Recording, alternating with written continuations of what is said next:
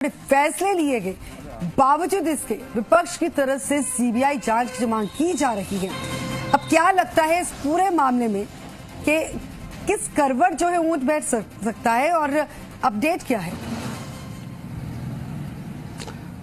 देखिए, ये ये जो पूरा मामला है इसमें ऊँट किस करवट बैठेगा इसके लिए सबसे पहले अगर आ, किसी व्यक्ति से बात होना ज़रूरी है तो माध्यमिक शिक्षा बोर्ड राजस्थान के जो बर्खास्त हो चुके बोर्ड अध्यक्ष हैं डीपी जारौली उनसे आ, हम रूबरू होते हैं।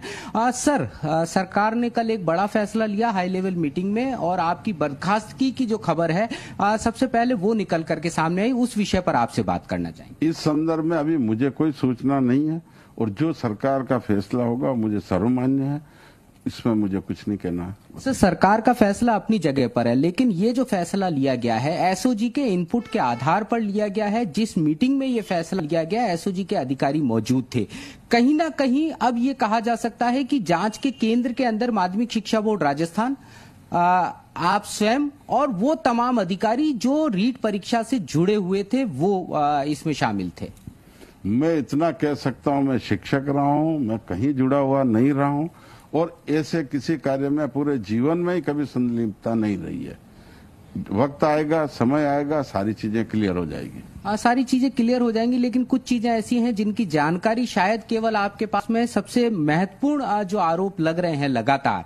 कि जो लोग रिटायर्ड थे उन अधिकारियों को इस कार्य में लगाया गया। उसके साथ साथ प्राइवेट व्यक्ति को ये ज़िम्मेदारी दी गई जयपुर जैसी महत्वपूर्ण जगह पर जहाँ शिक्षा संकुल है वहाँ जिसके स्ट्रांग रूम से पेपर आउट हुआ उस जगह की ज़िम्मेदारी एक प्राइवेट व्यक्ति को दिया जाना। नहीं उस जगह की ज़िम्मेदारी हमने नहीं दी है। हमने हर ज़िले में जिला समन्वयक बनाए और बड़ा जिला होने से या चार जिला सह समन्वयक भी बनाए वो सारे गवर्नमेंट के थे और इन सभी की ज़िम्मेदारी रहती है और जिला परीक्षा संचालन समिति की रहती है।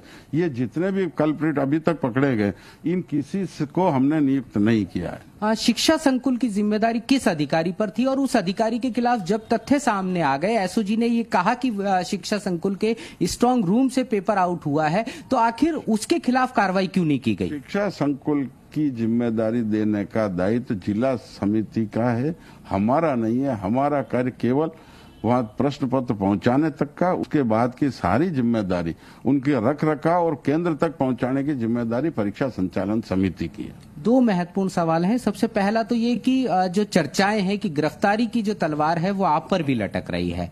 आ, कुछ बड़े नामों का खुलासा केवल आपके माध्यम से हो सकता है।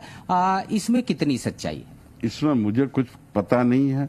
अब आगे क्या हुआ है? इन चीज़ों का न मेरे जीवन में कभी अनुभव रहा है न मैं ऐसा अनुभव लेने की इच्छा रखता हूँ। शिक्षक रहा हूँ कई परीक्षाएँ कराई है आज तक मैंने सुचिता से कराई है इसमें भी पूरा प्रयास किया है लेकिन जो हुआ है वो सबके सामने आपको लगता है कि अभी इस परीक्षा को निरस्त कर दिया जाना चाहिए?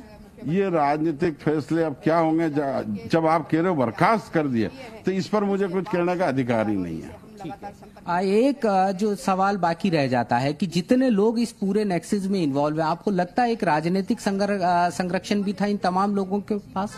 ये सौ प्रतिशत है कि बिना राजनीतिक संरक्षण के ये जो कार्य हो रहा है, जब पहले से पता शिक्षा संकुल से पेपर आउट हुआ, ये शायद मुझे उन्हीं लोगों से पूछना चाहिए जिनको ये पता है, क्योंकि हो सकता है इन लोगों का वर्षों से ऐसे ही चलता हो और वर्षों से इनका कोई ग्रुप हो, क्या हो, ये तो जब एसओजी जाँच करेगी। आप महत्वपूर्ण बात कह रहे हैं कि ये राजनीतिक संरक्षण इस पेपर ग्रोह को हो सकता है क्योंकि प्रदेश के अंदर वर्तमान में कांग्रेस सरकार है और वही कांग्रेस सरकार है जिसने आपको ये महत्वपूर्ण ज़िम्मेदारी सौंपी थी। नहीं नहीं ये प्रदेश सरकार का इसमें कोई रोल नहीं। मैं ये कह रहा हूँ कि जो गिरोह ये कार्य करता है वो किसी सरकार के पक्ष में नहीं कई लोगों का जिन्होंने कहा शिक्षा संकुल से आउट हुआ है ये बताओ आप मेरे उनको इतना कॉन्फिडेंस से पता था।